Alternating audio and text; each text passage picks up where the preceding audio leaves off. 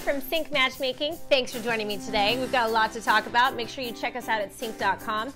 And today we're talking about things that I'm looking for, what any lady's looking for on a first restaurant date. So, yes, I said restaurant, and I'm a big believer in somewhere public, nothing too weird like camping or hiking. I want to be dressed nice, I want you to be dressed nice, and I want to be given a meal. Yes, that's right, we are too old for just coffee nowadays. So, I'm going to be watching for specific things, and so I made a list for you today. The three things. Number one, make sure you have a reservation. We see this all the time with clients. They just forget or they think they can just pop in. Well, they know me here. What if that doesn't work out? That does not make you look good.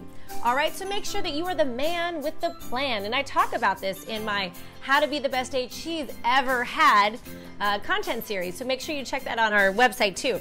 So make sure you've got that reservation ready. And you know what I love too? Two things. When you go in kind of early and have a drink at the bar, and then boom, they come get you because your reservation is ready. And even if you bring your own wine, that's kind of fun too. It's just that forethought that you've gone to the plan and you've made it. All right, number two, I'm looking for how you do the water. I know this sounds weird, but when the, the server comes to the table and she says, What kind of water can I bring today? This is what I'm wanting to hear you say. Defer to me and say, Sweetheart, what kind of water would you like? I like sparkling. I hate asking for it if you've already ordered tap water. I hate asking, oh, can I have sparkling with lime? But I want someone who's gonna defer to me and say, what would you like to drink? So I'm watching you on that, or are you just gonna decide for the both of us?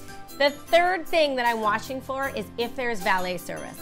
I'm not saying that a lady needs valet service, but if there's going to be valet service, because of the restaurant that you chose, number one, let her know ahead of time so that she can make sure to use it. There have been plenty of times where I'm not sure, should I park here, should I park there? I love knowing that if I'm wearing some high heels that I can just pull right up and use the valet service. Now, if you're taking her, you better use that valet service. That just shows you're a gentleman.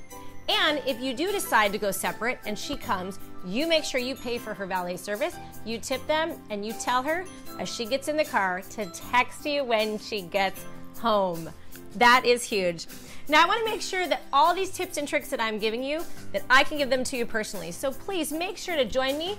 I'm gonna give you your first 30 minute phone conversations for $29. Here's my goal, is that I want you motivated to meet new people, Number two, I want you clear on what you want. And number three, I want you ready to own the room with confidence in your dating life. So make sure you email me at Katy, K A T Y, at C I N Q E.com. And we're going to be talking more and more about making your dating life fabulous. Talk to you soon.